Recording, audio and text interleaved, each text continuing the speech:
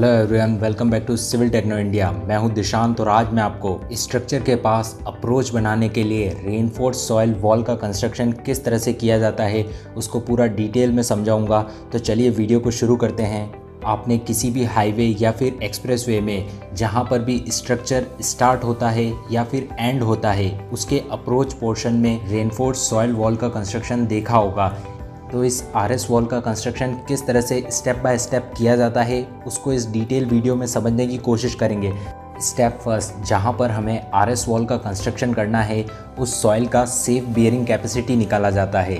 Soil का safe bearing capacity according to load यहाँ पर कैलकुलेट किया जाता है। यहाँ पर आप देख सकते हैं वन टू टू मीटर का सॉइल रिप्लेसमेंट किया गया है। To achieve the soil safe bearing capacity उसके बाद आप यहाँ पर देख सकते हैं, जहाँ पर फाशिया पैनल आना है, वहाँ पर लेवलिंग पेड का पीसीसी किया जा रहा है।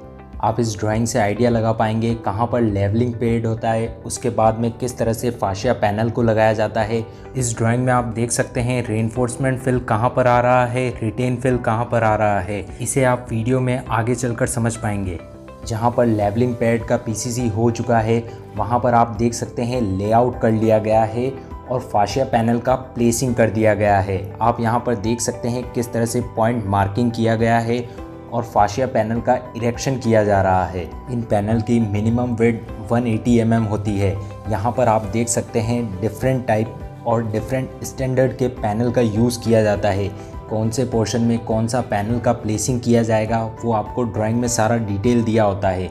आप यहाँ पर ड्राइंग भी देख सकते हैं, यहाँ पर किस तरह से सभी पैनल का डिफरेंट साइज़ एंड शेप होता है, उसको यहाँ पर उसके अकॉर्डिंग ही फिक्स किया जाता है। अभी आप यहाँ पर देख सकते हैं डिफरेंट स्पेसिंग पर गैल्वेनाइज आयरन का हुक दिया गया है। ये 12 एम mm का स्टील बार है, पर इसे गैल्वेनाइज कोटिंग किया गया है। ताकि ये कोरोजन या फिर कोई भी रस्ट इस पर कलेक्ट ना हो। एक फाशिया पैनल से दूसरे फाशिया पैनल का इरेक्शन हाइड्रा के थ्रू किया जाता है। आप यहाँ पर देख सकते हैं, इसे किस तरह से हाइड्रा के थ्रू यहाँ पर फिक्स किया जाता है। एक फाशिया पैनल से दूसरे फाशिया पैनल में 20 एम mm का गैप रखा जाता है, जिसे आप देख सकते हैं यहाँ पर ईपीडीएम पैड के थ्रू मेंटेन किया जाता है। ईपीडीएम पैड का काम ट्रैफ़िक के वर्टिकल लोड को सॉइल में ट्रांसफ़र करना होता है। तो आप यहाँ पर देख सकते हैं किस तरह से यहाँ पर तीन ईपीडीएम पैड को लगाया गया है। उसके बाद इरेक्शन के थ्रू दूसरे पैनल को इसके ऊपर फिक्स किया जाता है।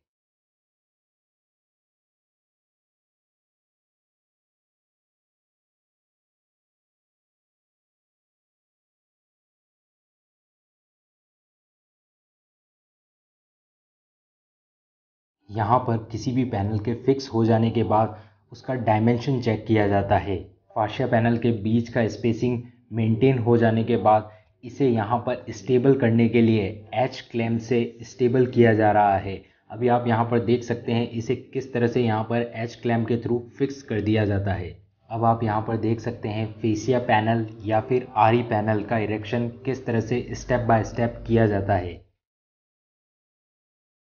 आरी पैनल के इनर साइड में 600 हंड्रेड mm तक ड्रेनेज मीडिया, जिसे फ़िल्टर मीडिया भी कहा जाता है, उसका लेइंग किया जाता है।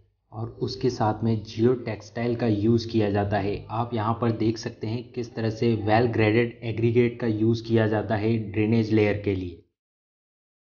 नेक्स्ट स्टेप होता है पैरावेब फिक्सिंग इसे ही रेनफोर्स मटेरियल कहा जाता है। सॉइल रेनफोर्स्ड यही रेनफोर्स मटेरियल आरी पैनल को होल्ड करके रखता है। इसका यूज़ डिफरेंट स्ट्रेंथ के अकॉर्डिंग किया जाता है।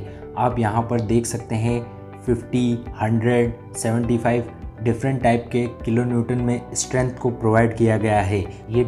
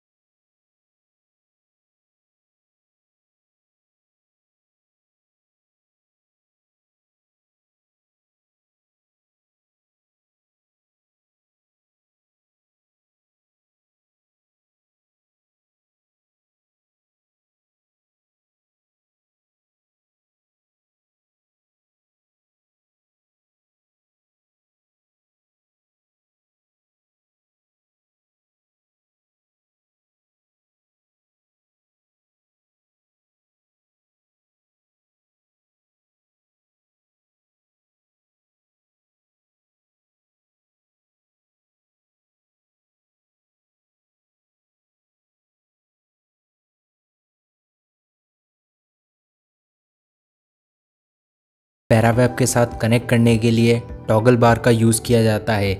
आप यहाँ पर देख सकते हैं 25 फाइव mm टू 32 mm के स्टील बार का यूज़ किया जाता है पैनल को पैरावेब के साथ कनेक्ट करने के लिए। इस पोर्शन में आप देख सकते हैं टोगल बार लगाया गया है। जहाँ पर भी एक पैरावेब का एंड होता है और दूसरा पैरावेब स्टार्ट करना होता है, वहाँ पर टू मीटर का ओवरलैप दिया जाता है और उसे एस क्लैम के थ्रू कनेक्ट किया जाता है। पैरावेब फिक्सिंग हो जाने के बाद इस पर सॉयल का डंपिंग किया जाता है और 200 हंड्रेड mm का कॉम्पैक्टेड थिकनेस का लेयर बनाया जाता है। यहाँ पर आप देख सकते हैं एनडीजी के थ्रू, न्यूक्लियर डेंसिटी गेज के थ्रू कॉम्पैक्टेड लेयर का डेंसिटी चेक किया जा रहा है और कॉम्पैक्टेड लेयर का डेंसिटी 95 परसेंट से अबव होना चाहिए। यहाँ पर आरी वॉल के फिक्सिंग में प्लम का ध्यान रखा जाता है। आरी वॉल का पैनल हर एक मीटर पर 15 टू 20 एम mm अंदर की तरफ़ सॉइल के अंदर की तरफ़ लीन होता है, ताकि यहाँ पर रोलर द्वारा वाइब्रेशन होने पर या फिर ट्रैफ़िक मूवमेंट होने पर यह ऑटोमेटिकली पैनल थोड़ा बाहर की तरफ़ आ जाता है। इसे इसीलिए 15 टू 20 एम mm अंदर की तरफ़ लीन रखा जाता है। आप यहाँ पर देख सकते हैं इसका प्लम किस तरह से चेक किया जा रहा है और ये किस तरफ़ से अंदर की तरफ़ झुका हुआ है।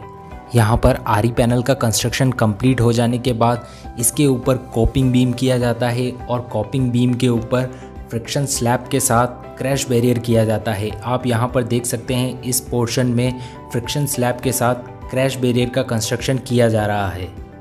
जैसे सॉइल को रिटेन करने के लिए आरी पैनल का यूज़ करके रेनफोर्समेंट वॉल का कंस्ट्रक्शन किया जाता है। उसी तरह से आप यहाँ पर देख सकते हैं आरी ब्लॉक का यूज़ भी किया जाता है।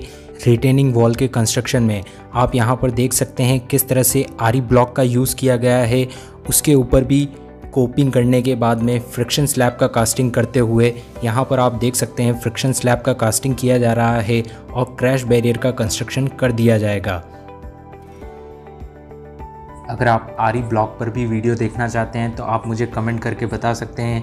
मैं इसी तरह से आपके लिए आरी ब्लॉग पर भी वीडियो बनाने की कोशिश करूँगा। आई होप आपको वीडियो इन्फॉर्मेटिव लगी होगी। अगर वीडियो इन्फॉर्मेटिव लगी है तो इसे लाइक करें, अपने दोस्तों के साथ शेयर करें।